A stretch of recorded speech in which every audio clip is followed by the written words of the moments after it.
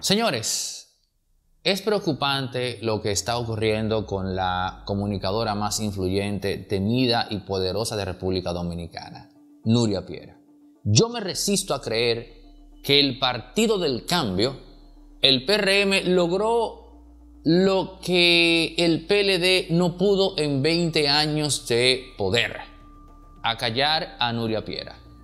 Pero esto es una presunción mía porque tengo que buscarle una explicación al inexplicable hecho de que Nuria, en tres años de gobierno y pico, no se ha estrenado con un reportaje de casos de corrupción, cuando ya lo ha hecho el propio, a ver, informe con Alicia Ortega. Incluso Roberto Cavada ha balbuceado algunas cositas, pero Nuria Piera absolutamente nada. Fue bastante entretenido la saga de los falsos médicos, falsos títulos, etcétera. Ok, eso generó mucho tráfico y qué bueno, eh, porque es su contenido. Y ahora caemos con un tema de una barbería que usted y yo la conocemos vía redes sociales. Es un tema de una barbería que está en Herrera, Santana Barber Shop, en donde la gente que va a recortarse, pues eh, al mismo tiempo que que se arregla estéticamente, se entretiene viendo a mujeres jóvenes eh, bailar. Y aquí tenemos que preguntarnos si eso es baile, propiamente dicho. Abro el debate para no sé si en la quinta pata quieran hablar de ese tema. Lo que se hace en Santana Barber Shop es propiamente baile. Podemos imaginar eh, que estamos ante doncellas que bailan al más puro estilo de las mil y una noche? Yo creo que usted conoce ya cuál es la respuesta. Ahora, al tema. Nuria Piera. ¿Tendremos acaso que hacer una cuenta regresiva para que Nuria Piera se estrene con un reportaje de corrupción de este gobierno?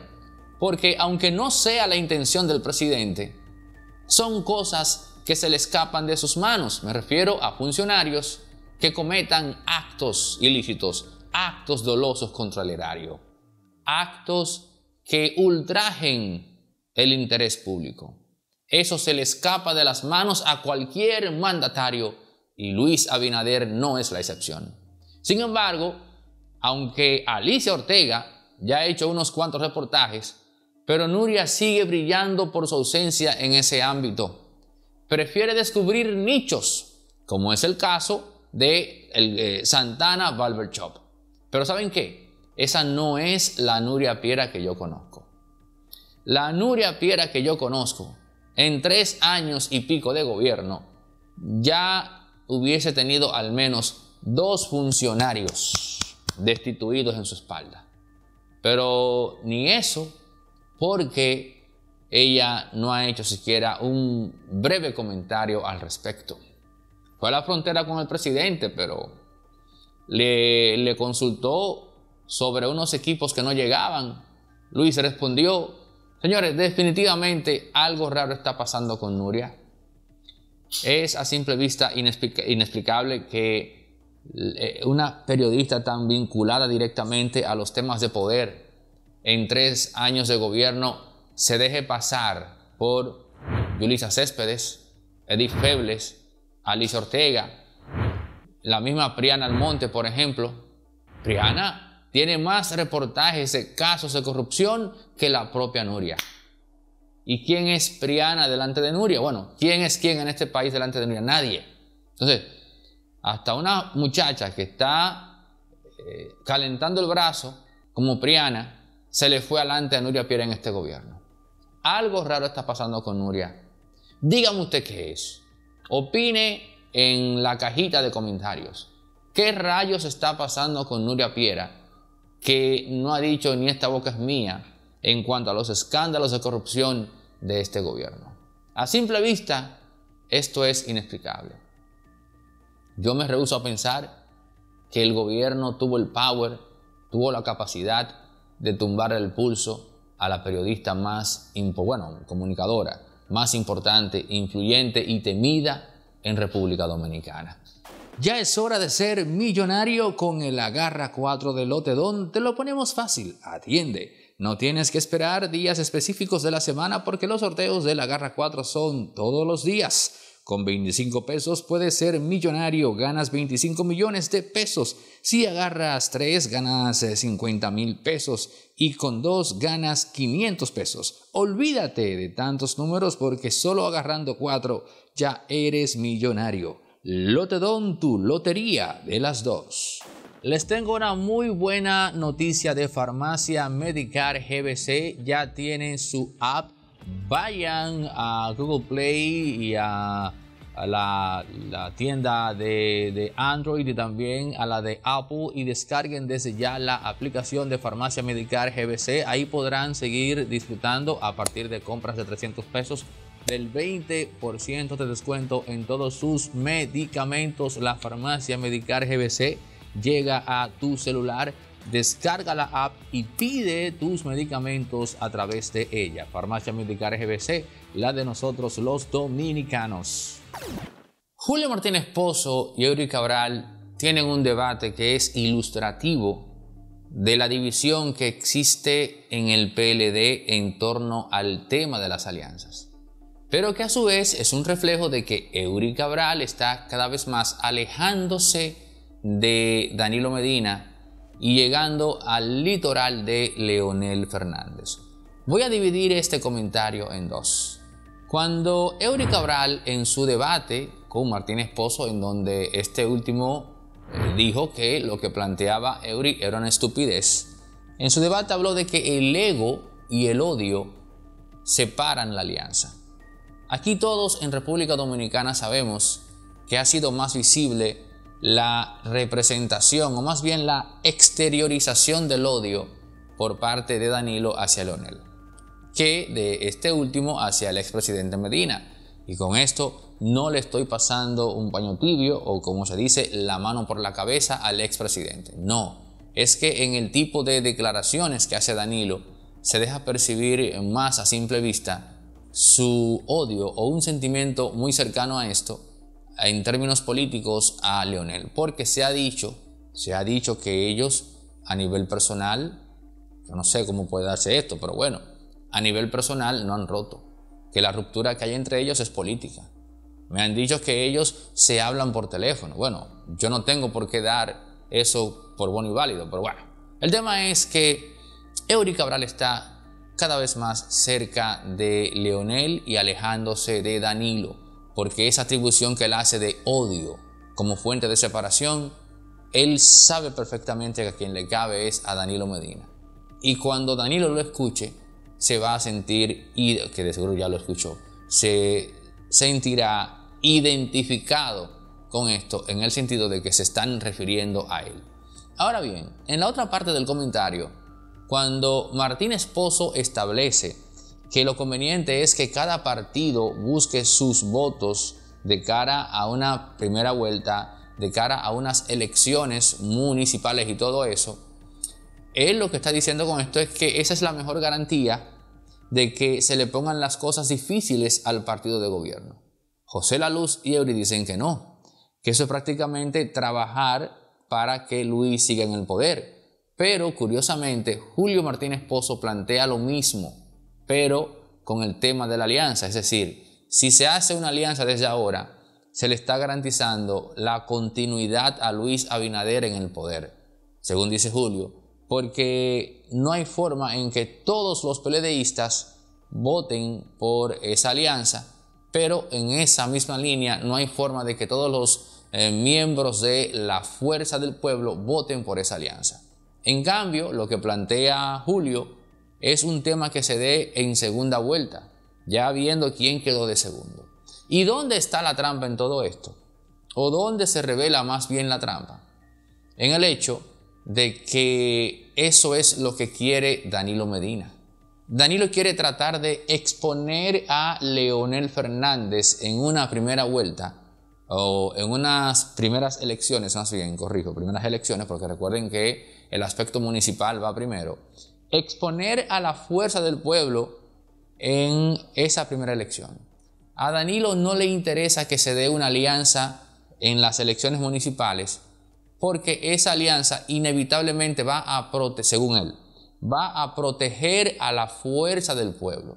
En cambio, si Leonel va solo en las municipales, apostando a Danilo a que saque una votación muy por debajo de lo que el propio Leonel ha dicho hasta ahora, eso va a poner a la fuerza del pueblo en evidencia y obligará entonces a tener que pactar con el PLD de cara a las presidenciales ya en una situación más favorable, porque se habrá visto que la fuerza del pueblo no contaba con esos dos millones de firmas.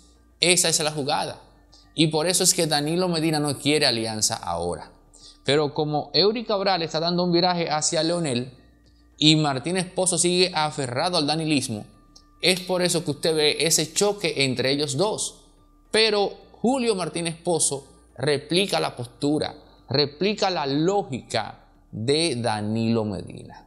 El mismo Danilo, que tenemos que recordarle a él, que amenazó con meterlo preso cuando éste se enfrentó a Jan Alain, porque los intereses de un socio de él, entiéndase, Ángel Rondón, se vieron salpicados y Julio Martínez Pozo se arriesgó a enfrentar a Jan Alain con ese tema, lo que era a su vez un enfrentamiento con Danilo. ¿Y saben qué? Por increíble que parezca, Julio Martínez Pozo ganó ese pleito, porque hoy en día el expresidente Medina tiene preso a un ahijado de él, este muchacho, Donny Santana, lo tiene preso por eso. Porque cuando Danilo intentó aplastar a Julio, este inteligentemente sacó el tema de Donny Santana, que se estaba cubriendo en Palacio en aquel entonces. Ese muchacho es un efecto colateral de ese enfrentamiento que se dio entre Julio Martínez Pozo y Danilo Medina. Que cuando pasó eso, Danilo tuvo que desistir y decirse, vamos a dejar eso así, dejemos a Martínez Pozo quieto. Entonces, ese enfrentamiento que usted está viendo entre Julio y Eury viene por ahí en el hecho de que Julio Martínez Pozo, al igual que Danilo, está convencido de que lo mejor es que en las municipales la fuerza del pueblo vaya sola y que quede expuesta con sus dos millones de votos. Naturalmente, ni usted ni yo podemos asegurar que eso será así.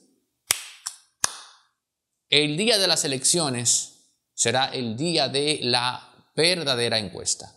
Nada nos cuesta esperar hacen en el mundo sin problema. No, pero cuando, cuando usted pide su permiso, como lo hicieron, como, como hicieron, como hizo esa diáspora haitiana, cuando usted, cuando los dominicanos quieren reclamar cosas, quieren hacer algo en Estados Unidos, en Nueva York, por ejemplo, y quieren hacer una marcha piden su permiso, lo hacen en orden que cada país tiene su constitución. Tú recuerdas que cada país tiene su, constitución y su ley. Eso es negar. el contexto. Eso está, a disposición, eso está a disposición del Ministerio de Interior y Policía.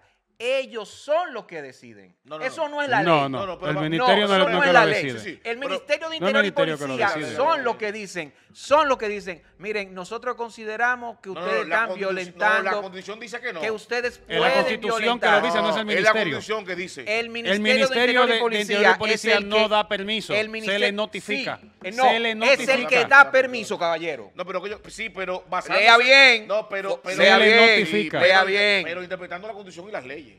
El Ministerio, de Interior y Policía no puede, por encima de lo que dice condición, se supone legalmente, no puede, no puede Lo único que, puede hacer es, variarte una fecha. Pero es que dan porque ya haya Pero es que ellos dan los permisos de las marchas. Que no, es, que no, es un permiso. No es un una permiso. Cosa, una cosa. No dan permiso de marcha. No, no es un permiso. bueno, ellos pidieron el permiso, papá. es que no es un Lo hicieron. ¿Qué, Delio?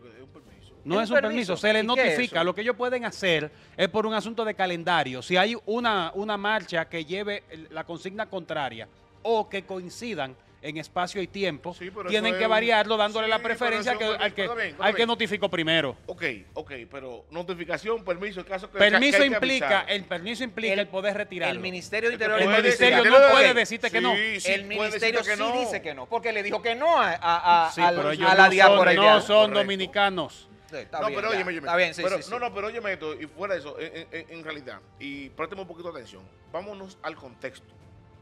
Porque no es lo mismo, y por eso te decía ahorita, que independientemente que aunque no es el, mismo contexto, pero en el fondo podría interpretarse igual, vámonos al contexto de las implicaciones que tiene una manifestación haitiana en el país.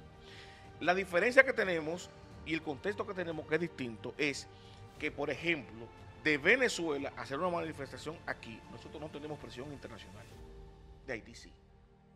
La República Dominicana tiene presión internacional de que nosotros asumamos, asumamos económica, social y políticamente un Estado fallido completo como es Haití. Tú puedes tener eh, tus disposiciones que dice, bueno, tenemos responsabilidad en algunas cosas, la República Dominicana le saca provecho a la mano de obra haitiana ilegal, eso es una cosa. Ahora, el hecho de la presión que tú sabes que tiene la República Dominicana de otras potencias del mundo con relación a la situación haitiana y que ellos y que ahora empiecen a manifestarse en el país y nosotros aceptemos eso.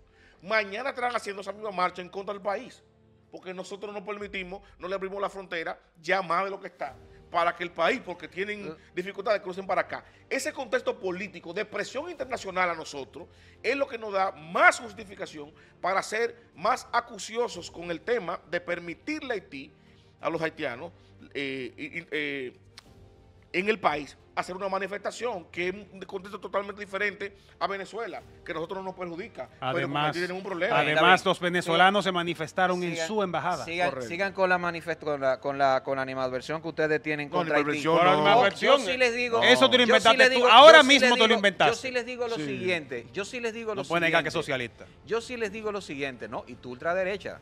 Eso es así, y yo no lo niego. Yo, no soy me liberal. Yo no, usted no usted liberal, nada. Usted es un ultraderechista, ultraconservador, eso es lo que usted es. Ni siquiera. Oigan una cosa.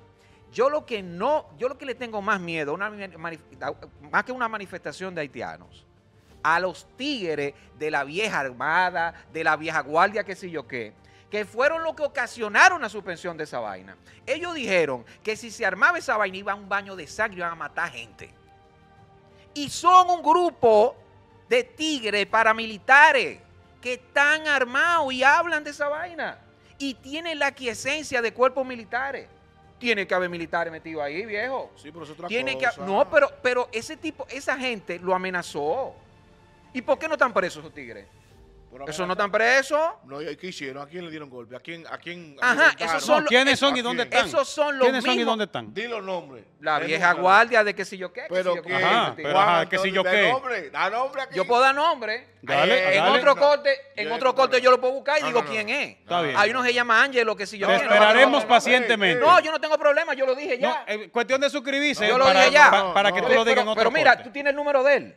Edición, vamos a Llámalo, llámalo, que tú tienes el número de él. Tú tienes el número de él, vamos a llamarlo. Mira lo que está pasando aquí, a Edu, llévate del mismo. Aquí están amenazando gente, ah. Y no somos xenofóbicos. Esto es la quinta pata. Delio Medina, Mario Herrera, Edwin Cruz. Recuerden suscribirse, darle like, activar campanita y todo eso.